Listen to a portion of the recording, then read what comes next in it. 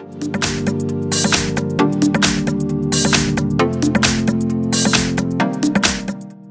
I have Vivo Y93 and let me show you how to change date and time settings on the following device. So at the very beginning let's unlock the screen, let's find and select settings.